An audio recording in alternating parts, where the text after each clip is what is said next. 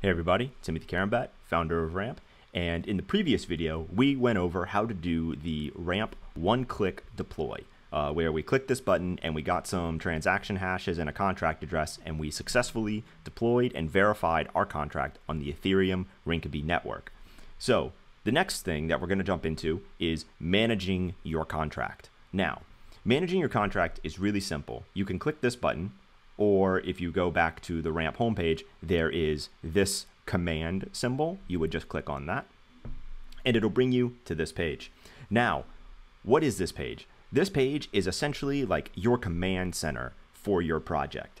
The way this works is that since you are the owner of the contract, since you were the one that deployed it, you have essentially admin ability on all of the functions of this contract. So for example, if we want to close minting to the public, we would click this button and you would see that we're going to get a notification to stop minting. Uh, I'm going to reject that because I want mint to be open. And uh, we can also open allow list minting.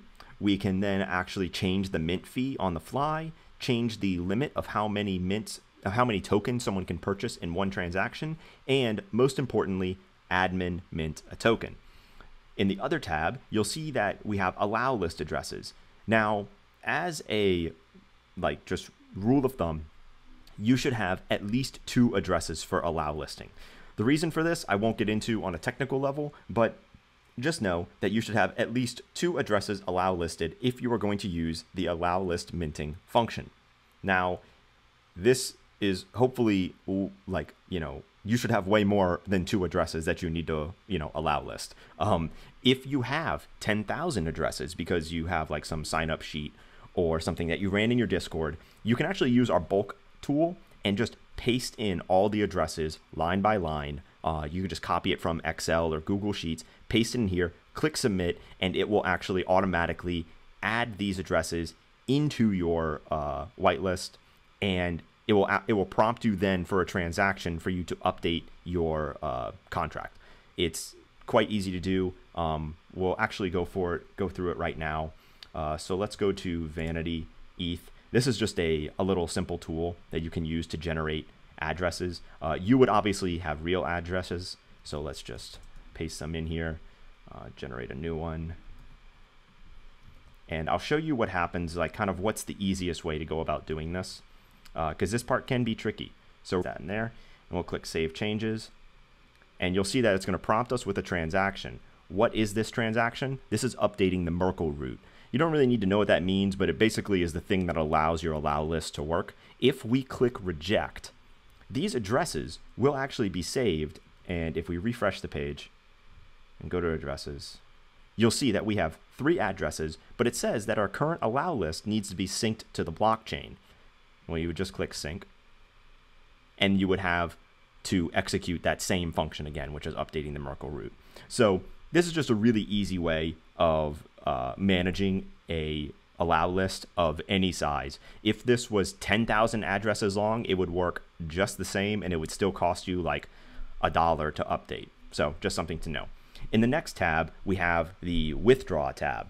Now, this will show you the current balance on your contract and who is going to get paid what. Now, if I click this, there's no balance on the contract, so this transaction will fail.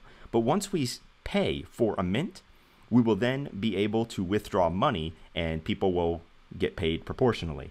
So analytics right now is actually in a private uh, private access feature. So if we click on it, uh, you know, it's not something that I can display to you guys right now, uh, but it will be available in the future and it'll be able to tell you so many things uh, besides just a floor price. Um, you'll be able to know essentially uh, how many people are trying to mint and you know for example left because gas was too high or they didn't have enough money or something like that um, basically just being able to tell you more about your community than you would really be ever able to know from any kind of uh, you know on on chain events okay so now we're going to talk about listing a token on OpenSea.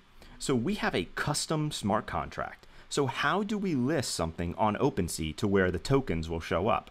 Well, we're going to go and copy our address. This is my address. You can send these to a friend. We're on Rinkeby. It doesn't really matter. Let's mint the first five tokens to us, just because. So we're going to go to Mint. And you're going to see that it just says contract interaction. Really, what we're doing is we are sending, we are buying ourselves the first five tokens on our contract. So I'm going to click confirm. And we are going to wait for this transaction to process, and we'll even view it on Etherscan. And just so you know, you cannot list a contract on OpenSea unless you have at least one token minted. You must have at least one token minted. This rule applies to all NFT marketplaces. You have to have at least one token minted. That's why you may notice in some uh, in some NFT projects they actually self mint a token to themselves that just doesn't have any data on it, um, just so that they can have their collection page uh, be present. But that's really besides the point. You can see that if we go to the View Block Explorer, once this node is properly indexed, it's going to show that we purchased tokens 1 through 5. And we'll wait for this to load. Okay? And you'll see that we have purchased tokens 1, 2, 3, 4, and 5. That's great. Now, how do we go and get these tokens and the contract and all of this stuff? How do we let OpenSea know that it exists? Well, that's actually quite easy. Copy your contract address, go to testnets.opensea.io, and you should be able to go to your collections. And oh my gosh, it already found it. Okay, well, sometimes OpenSea is not so eager to find your projects. So you would go to OpenSea testnets.opensea.io slash get listed. You are live on a testnet. We are on the Rinkeby chain, and you would paste in your contract address. And you would see that our name has automatically been brought in from our contract. The website actually is rampp.xyz, which was the website we put in. Our royalty would be already set. We actually have five items already showing. And oh, look at that. We actually even messed up our layering. See, this is why you should always be very careful when you're doing your la layering. I have my laser eyes going over the uh, under the hat. They should be going over the hat. Whatever. It's a test contract, and this is why we test things actually.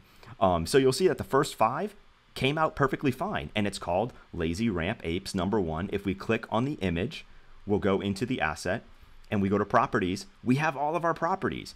Now you'll notice that the percentages for their rarity are not here. Why are they not here? That is because testnet OpenSea does not calculate percentages for rarity. It's just a, I guess, a waste of time for them to do that. They do appear in production like real OpenSea. So just something to know. You'll see that we actually have our collection already here. We have details, contract, ERC 721, Rinkeby, token ID number one, and it was just minted from the null address to us about three minutes ago. So now our contract is live on OpenSea. This process that we just went through of deploying a contract, uh, verifying a contract, minting ourselves a token, and listing it on OpenSea are all 100% the same as doing it as when you deploy to mainnet. So if instead of going to testnets.opensea, you would just go to opensea.io slash get listed. And also just a added uh, feature because plenty of people ask about this because I am connected to OpenSea and I am also the same person who owns this contract, you can actually go to edit and it'll ask us probably to sign. Yeah. And now I can add my logo image, my banner image, change the name, change the slug, change the description, add categories, yada, yada, yada. Do all of this stuff and even delete the collection if you own every single item. Um, but you can do all of that. You can manage your OpenSea collection page um, rare if it's on OpenSea, Rarible has probably already picked it up. Uh, LooksRare, I believe, is the same process. I believe they look at other marketplaces. So if you list it on OpenSea, it'll probably pop up on every other marketplace as well.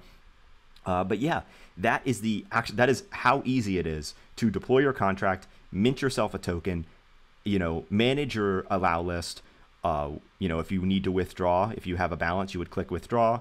Um, just like you know, this is this is your command center. So yeah, uh, it's that simple. And in the next video, we're actually going to talk about your embeddable mint button and what that is and how powerful it is and what that means for you and your community.